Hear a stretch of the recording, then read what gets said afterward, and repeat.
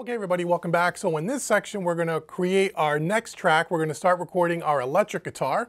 Uh, in our session here we have our drum track from the last session. Now we're going to work on electric guitar. We're going to record a little part to this drum track. So now before we get to that you want to make sure that you have your quarter inch cable obviously plugged in to let's say input 1 on your audio interface and for now keep the level on the AudioBox USB turned all the way down for now. We're going to set the levels in a second. And also make sure that the 48 volt phantom power switch is not lit, that it's in the out position. We don't want to introduce 48 volts to our electric guitar signal, okay? So you got your electric guitar plugged in, you have your level one turned all the way down, and you have your 48 volts uh, out in the outward position. You got your headphones plugged into your headphone jack on the back. We're going to be using those in a second. And you want to make sure your headphone level is uh, at an appropriate level for you, that it's not too loud, not too quiet, obviously. You want to be able to hear that. And you also want to make sure that the, uh, the, the encoder, that's the mix playback, just for now, put that at 12 o'clock. We'll talk about what that kind of does a little bit later. So now let's head on into Studio One and let me show you how to set up a guitar track. And we're going to use the internal um, guitar amp uh, simulator plugin, the VST that comes with Studio One Art is called Ampire. We're going to set that up now, and then we're going to record a little guitar track. So let's head on over to Studio One here. I'll put this guitar down, and in Studio One, here is our drum track from before, right? So now to add a track, all we're going to do is we're just going to go in and we're going to um, do this a couple of different ways you can do this. Uh, we can go up to the top here where it says track and we can just hit track and hit add tracks. So now what we want to do is this is the add tracks dialog box. Uh, we want to add one mono track for our guitar here. So you can see here we can name it. I'm going to name it electric guitar. It's an audio track. We only want to add one of them, just one track now. Uh, the color can be any color we want. We can change the color here in a second. Uh, we want it to be mono, not stereo. Okay, we don't want to use any presets, any presets, and because we're plugged into channel one on our audio interface that I showed you how to set up the I.O. in an earlier section, we want to make sure we're on input one and our output is the main. So we're just going to click OK, and as you'll see, there's a track that comes up here, and we can just uh, click and drag this down here. Now we can change the color once again just by clicking on the sidebar, and let's change this to the color green so we can make it a little different looking than the drum track that is up above. So now that we have our electric guitar track, we need to add our VST instrument Ampire. That's going to be our guitar amp uh, simulator plugin to give us kind of a guitar amp sound so you don't have to mic up a guitar amp. It all comes with Studio One Artist. So the way to do that, let's uh, first expand our mixer by just clicking on the mix button here. And whoops, let's click on the mix button and here's our Oops, I keep hitting the wrong button, sorry. Uh, and this is our electric guitar track. Now we're gonna add, we're gonna open up the, uh, the track here. We're gonna just expand it. See this little hash mark here? We're just gonna expand it. And now we're gonna put our inserts here. So to find Ampire, the guitar amp plugin, we're gonna go over to the browser. We're gonna hit the browse button and we're gonna go into the effects tab, which we're already here, okay? And we're going to click on the PreSonus uh, folder and we're going to grab the first plugin called Ampire. So you can just left click on this, highlight it, and drag it in. Okay, and then I'm going to close the browser. So this is the Guitar Amp Simulator plugin Ampire. Um, and there's a ton of presets and um, we're not going to spend a lot of time messing through all the different features of this. I urge you to play with it. It's pretty self-explanatory. The best way to start is to maybe come up here and pick one of your presets. Um, but they have everything from, you know, American style amplifier sounds to British style amplifier sounds, clean, crunchy, so on and so forth. Um, and you're going to be able to play with that here. So we have, if we just stick it on its default, we have an A, an A uh, channel and a B channel here, and you have a, you know, each knob, you have a drive knob, a bass knob, a mid, treble, presence, and a gain knob. Over here, you can choose the cabinet that you want. There's all different cabinets here. We're going to keep it on 412 British for now. And then if you click on this little stomps uh, button here, this is going to pull up some stomp boxes that come along with the plugin. So they have an auto wah, they have a tube driver here, which is kind of cool, an equalizer, uh, some modulation stuff, some reverb stuff. And once you get the sound that you're kind of looking for for your song, in this song we're going to use kind of a little bit of a, a, a heavily driven overdrive sound, kind of a rock blues kind of a tone you can save things as presets. So you can mess around with this, play with the sound, get it just the way you want, and then once you get that, you can save it as your own preset, which I've already done off camera in the, uh, in the spirit of saving time in this video. Um, by the way you do that is you just, once you say, for example, you like this setup and you want to save this as a preset, come up to this little icon here next to the power switch and you just right here and you can just say store preset. You can name the preset, you can describe it, you can put it in a subfolder and you can just save that preset so the next time you go to use it, it's already there for you, okay? Now I've already done that. If I come down here, um, I went, to, I created a, day, a preset called David's Preset okay, where I spend some time, and you'll see that it's up here, and I spent some time kind of messing around with this a little bit to get a halfway uh, decent uh, guitar tone here, or for what I feel is a halfway decent guitar tone. And we're gonna go ahead and we're gonna, we're gonna close this out now. So Ampire is here uh, on the track. Now the next thing we need to do, in order for us to be able to hear this through our headphones when we're playing the guitar, we're gonna need to turn on this little speaker button here. Here's the monitor button here, okay? That's gonna allow us to hear the guitar. So if I kind of put my headphones on, here, and I urge you to do the same. And if I grab my guitar here,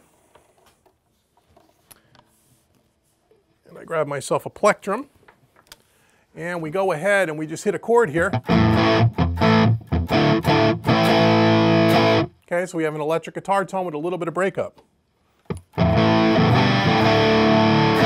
Okay, so now once we got the guitar tone that we like, it's time for us now to set up our guitar level going into Studio One. Now this is super important, so let me take off my cans here for a second and talk to you. So when you're setting levels for any instrument, guitar, vocal mics, it doesn't matter. I'll say this over and over again from this point forward to remind you you want to set your incoming level with the encoder on the front, in this case encoder number one. You want to turn that, it starts all the way off, you want to start turning it clockwise until when you're playing the guitar and hitting at maybe the loudest point, hitting some pretty solid, uh, if you're going to be strumming pretty hard, you want to hit it pretty hard. And you want to see the incoming level on the inputs raised to about around a negative 12 dB on your input level. That's conservative enough where you can play, you know, play your heart out, really dig into the guitar and you're not going to have any danger of clipping when you're recording. So somewhere between the negative 12, negative 10 dB on our input meter is kind of where we want to be. Now it doesn't have to be exactly negative 12, it could be negative 13, negative 15, negative 9, but somewhere in that ballpark on all instruments. That's going to give us a nice conservative level of recording so we can later on at EQ and compression and whatever else we want to do and we don't have to worry about any kind of digital clipping, okay? So when you um, first add this track here like we did before, if you look over here on the sidebar of Studio One, you'll see the Inputs tab. If I click this and open it, and I hit my guitar, you'll see the incoming levels coming through. And if I uh, put my headphones back on and I kind of play pretty hard and, and turn up my uh, encoder here, I, again, I want to be around a negative 12. So let's do that. I got my headphones on and let's go ahead and just, and you can see on the top of the input meter, we're around a negative 15, which is pretty conservative.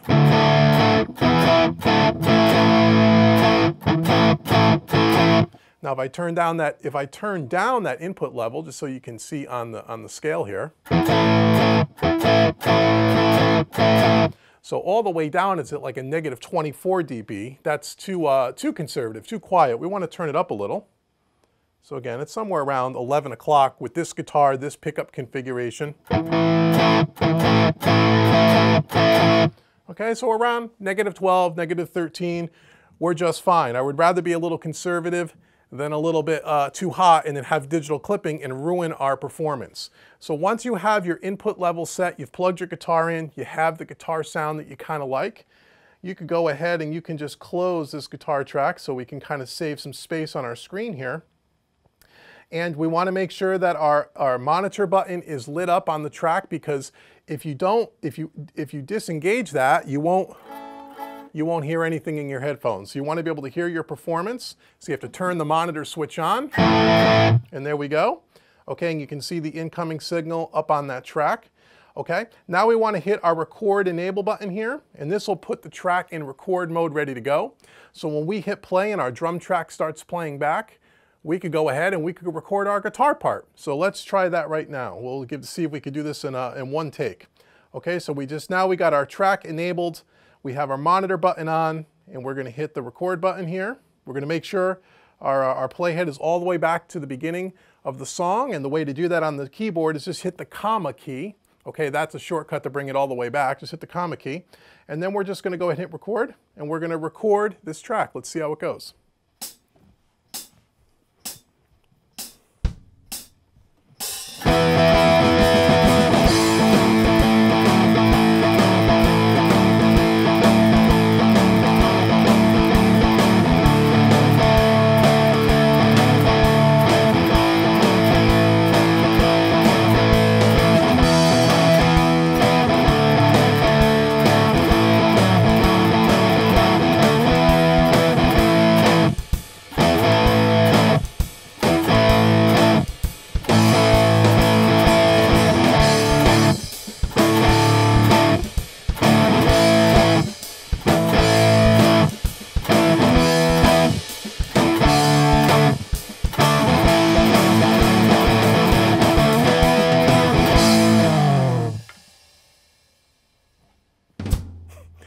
Okay, there's the end of our song. So let's hit the space bar to stop.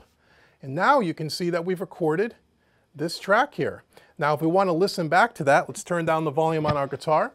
We want to make sure we turn off the record enable button, turn off the speaker button, and now we should be able to play back from the top and we should be able to hear that guitar track. And we can, we can mix the guitar track, turn up the volume up and down to kind of mix it so we like the balance between that and the drums.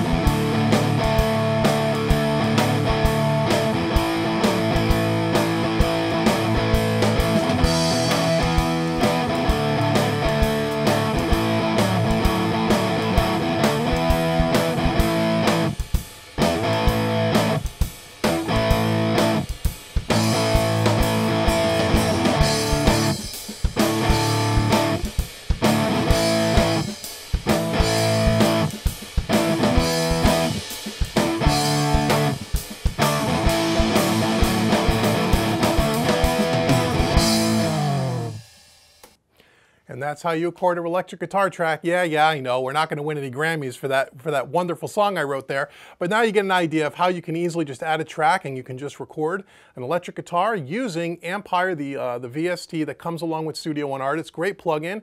Uh, I urge you to mess around with it, save your own presets, find the kind of tones that you like, and go ahead and record yourself some electric guitar. And in the next section, we're going to come back and we're going to record a bass guitar to this song and add a little bit of bottom end. So come on back for the next section.